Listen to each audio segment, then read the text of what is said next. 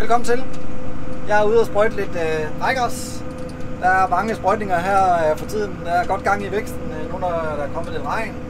Øh, vi er i stadie 37-39 med rækkers her, så det skal have noget vækstregulering. Øh, og så får det også noget svampemiddel. Så øh, ja, der er nok at se til. Men øh, vi kan jo lige tage en tur rundt og se marken her bagefter.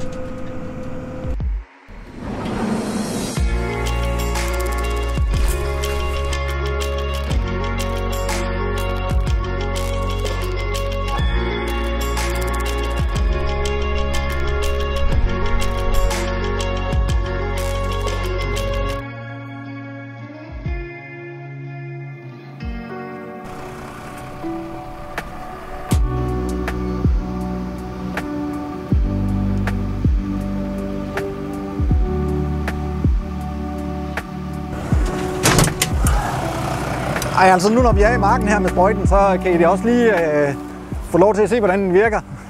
Altså jo, det er lige præcis det her, der den er lavet til, kan man sige. Øh, sådan en danfoil her. Altså den har jo sådan nogle, øh, nogle små flyvinger her, hvor den blæser luften ned igennem, og så bliver dråberne øh, blæst ned i afgrøden. Og det bliver jo så rigtig godt fordelt her i afgrøden, når der er luft på, øh, og det er små dråber. Så på den måde så håber jeg jo lidt, at det her svampemiddel og vækstregulering, det virker ekstra godt, når det er med sådan en sprøjte her.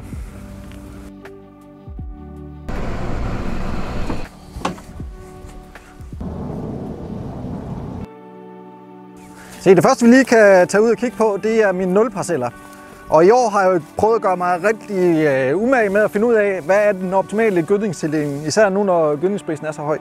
Så det vi har her, det er mine nulparceller, det her er lavet i alle hvide marker, for at finde ud af, hvor meget øh, er der ligesom i jorden. Jeg giver slam, så på den måde så er det vigtigt at finde ud af, hvor meget det giver, og hvor meget jeg så selv skal tildele senere. Øh, det er sådan set bare en præsending på 3x3 meter, som jeg har lagt ud ved de to første gange gødningstildelinger. Og så har jeg så haft en fyr ude og, øh, og måle, hvor meget der ligesom er optaget i de her planter kontra ude i marken. Øh, og på den måde så skulle jeg ligesom finde ud af, om jeg kunne spare noget gødning i forhold til, hvad jeg havde tænkt. Desværre havde den ikke øh, optaget så meget, som jeg havde håbet, så det der med at spare gødning, ah, det, øh, det tør jeg ikke i år. Når vi nu er ude i marken, så kan vi lige se, hvor langt øh, veden er. Og øh, Altså nu er der ingen grund til at sprætte den op længere, fordi man kan sådan set se, at der ikke er flere blade undervejs. Så, øh, så vi er i stadie 39, det her er fanbladet. Og øh, derfor så nærmer den vigtigste sprøjtning sig jo i forhold til, at vi skal have beskyttet alle bladene. Jeg har, jeg har givet den i stadie 33 sammen med noget vækstregulering. Øh, fordi det her er også en tidligt mark, så den er lidt mere udsat, kan man sige. Og vi har meget septoria hernede i, øh, i det østlige del af Sønderland. Men nu her, så skal den have, have den store tur, kan man sige.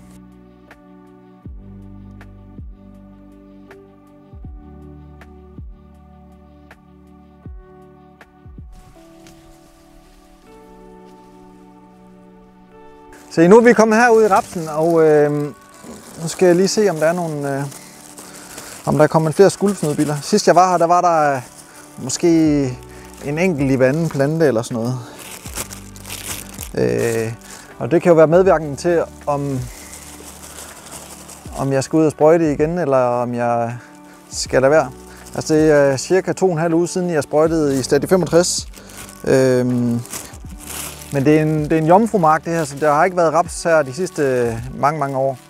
Øh, og derfor er jeg, nok, øh, er jeg nok der, at hvis der ikke er nogen skuldbesnudbiler, så, så bliver jeg ikke afsted igen. Det er også, som I kan se, så er den meget høj, så der bliver jo nogle sprøjtskader, selvom jeg har en præcedning under traktoren. Så, men jeg tror, jeg tror konklusionen er, at, øh, at der er ikke nogen skuldbesnudbiler af betydning.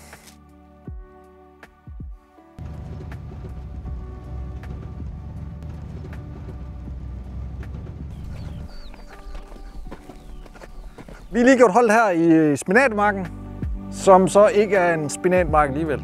Altså jeg har arbejdet målrettet på at få nogle flere højværdiafgrøder. Men øh, altså her blev sået spinat for fire uger siden, og så øh, skete der det underlige, at efter de var kommet op og det hele, så ringer firmaet og siger, ah, dem som har bestilt den her vare hos os, de har fundet ud af, de vil ikke have den alligevel. Vi bliver nødt til at købe der ud af kontrakten. Så hu hej, så blev vi nødt til at øh, finde på noget andet, så nu har jeg sået majs i stedet for. Øh, det var lige med at finde ud af, hvad der kunne tåle det her sprøjtemiddel, der var lagt ud i marken osv. Så øh, jeg er jo ikke øh, selv øh, nogen kør, men øh, jeg håber på, at jeg kan finde en aftager til det her majs. Lige her bag ved gården øh, står min vorbyg. Det ser sådan lidt sølv ud her på foran.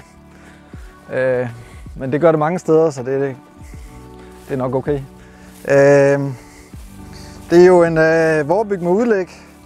Øh, øh, og som I kan se her, så mellem rækkerne, så er der sået udlæg, altså næste års rækkers.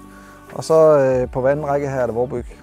Og øh, det, der er vigtigt med sådan en vorbygmark, det er jo selvfølgelig, at den, øh, den ikke kommer til at ligge ned og skygger udlægget væk. Så øh, det her med vækstregulering, det er særlig vigtigt i forhold til en vorbygmark med udlæg. Øh, det jeg så har aftalt, det er, at jeg skal prøve at lave lidt forsøg her øh, med at lave nogle spor med forskellige behandlinger.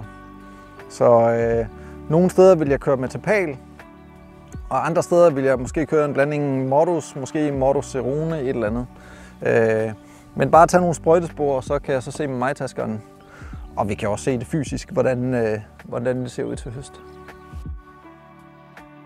Så fik vi set lidt på markerne. Og øh, jeg synes sådan set, det ser meget godt ud. Det hele. Efter det har fået lidt vand og lidt gødning. Gødningen kom til at virke. Så øh, vokser det jo bare af. Så nu står det mest på sprøjtninger. Og så selvfølgelig så skal jeg til at gøre klar til øh, høst med at rydde op i øh, så videre. Og så øh, tænkte jeg lige, at jeg skulle ind og se på, øh, på kornpriserne. Jeg overvejer, om jeg skal sælge lidt futures her øh, frem i tiden. Måske i høst 23 og endda måske høst 24. Men øh, det kan vi mere, høre mere om en anden gang. Vi ses.